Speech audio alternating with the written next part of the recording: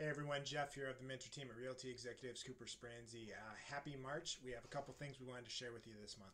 First of all, March Madness is a term that we use a lot this time of year, and uh, it's a perfect example of what the market is right now. With just under 900 houses available in Dane County, we are at like record lows, um, down about 53% from even three years ago when we thought we had an inventory problem. So, huge sellers market. Um, buyers need to be prepared. Sellers can put themselves in a chance to win if they do the right things. Uh, if you have other questions about that, let us know. We're happy to chat. Number two, it is March Madness, March Madness. So, we invite you to join our tournament challenge on ESPN.com.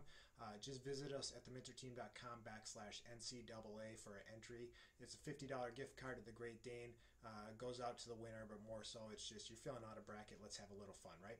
And finally, number three, save the date. Sunday, June 10th is, I believe, is our Mallards game. Uh, so, so, Sunday, June 10th, I think it's 4 o'clock game, our Mallards game this year.